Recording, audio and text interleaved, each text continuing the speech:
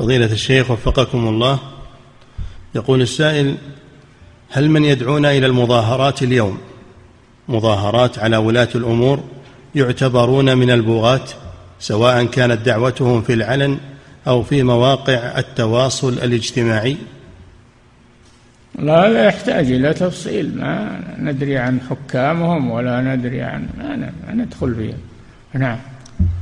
إعداد مشروع كبار العلماء بالكويت أعزها الله بالتوحيد والسنة.